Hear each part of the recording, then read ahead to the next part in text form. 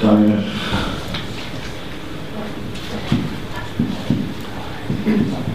Begrüßen wir Daniel Pieter in dieser Runde, nochmal Rick Adono als Trainer. Vielleicht gehört dem Trainer zunächst mal das Wort. Rick, some statements about the new contract from Daniel.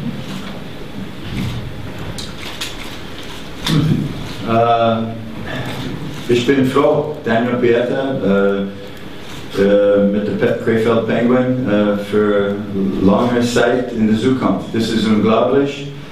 Daniel ist sehr gut Person. Daniel, uh, Daniel, uh, er Blut ist schwarz und gelb. Und das ist warum Daniel steht Krefeld. Krefeld ist Daniels Heimstadt.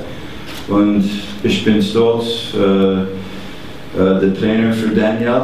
Und unser Relationship with uh, Daniel and the Trainers is good.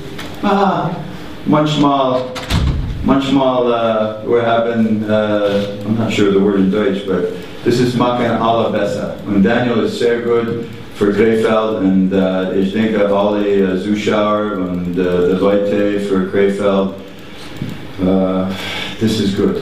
Und ich denke Rudiger Nowak, I know Rudy worked very hard at this and the ownership and uh, without the support of our whole office staff, our organization, the fans, uh, this would not be possible. So Daniel, congratulations uh, as your coach. Ich liebe Daniel and uh, congratulations. Ja, wollen wir hoffen, dass diese Liebe auch anhält. Daniel, vielleicht von dir ein paar Worte zum Vertrag. Zehn Jahre, das ist ja nun auch nicht gerade üblich und äh, wir haben uns also vorher auch schlau gemacht. Nach unserem Kenntnisstand gibt es eigentlich in Europa nichts Vergleichbares. Das heißt also, Daniel Peter setzt in Krefeld einen Meilenstein mit einem 10-Jahres-Vertrag. Ja, ob es ein Meilenstein ist, weiß ich jetzt nicht, aber mit Sicherheit ist es, äh, kommt es nicht häufig vor. Ähm, ich habe mich dazu entschieden, in Krefeld alt zu werden. Ähm, ja, wahrscheinlich werden Kritiker sagen, äh, dass ich mich jetzt drauf ausruhe, aber der mich kennt, ähm, glaube ich, wer weiß, dass, dass es nicht der Fall sein wird. Und ähm, ja, man musste, man musste irgendwas basteln. Wir haben, ich habe gute Angebote von anderen Mannschaften gehabt, die äh, für die nächsten paar Jahre. Aber ähm, ja, mit diesem 10-Jahres-Vertrag, glaube ich, kann ich zufrieden sein, der Verein auch. Und ähm, ja, ich habe großes Vertrauen in den Verein, dass was aufgebaut wird. Der Verein vertraut mir durch diese zehn Jahre und ähm, ja, machen wir das Beste daraus. Du möchtest also auch damit so ein bisschen dokumentieren, dass eben die Verbundenheit zum Standort ja nochmal gegeben ist und dass du auch an diesen Standort glaubst. Ja, auf jeden Fall glaube ich an den Standort. Ich meine, ähm, seitdem ich denken kann, ähm, bin ich beim KV erst als Fan, dann habe ich angefangen von den Bambinis und ähm, es hat sich bis heute durchgezogen. Ich glaube, ähm, ja, dass ich äh, der größte Fan von den Pinguinen immer noch bin, auch äh, wenn ich schon selber spiele, aber ähm, ja. Meine Freundin fühlt sich hier wohl, auch wenn viele gedacht haben, dass ich vielleicht nach Nürnberg gehe wegen der Freundin, ist aber nicht der Fall. Ähm, meine Familie wohnt hier, meine Freunde, ich fühle mich wohl hier und ich glaube, wenn ich mich wohlfühle, kann ich äh, die beste Leistung auch bringen.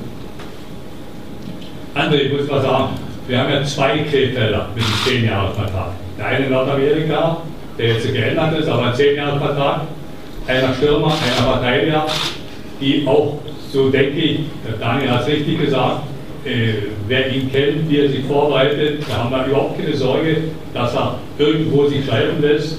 Und dann denke ich, ist es für den Standort Krefeld auch gut. Nach zehn Jahren haben wir wahrscheinlich zwei Eishockey-Fachleute, die in der Organisation den Verein dann erhalten werden und den Verein noch weitere 10, 20, 30 Jahre führen, sodass immer Eishockey in Krefeld ist.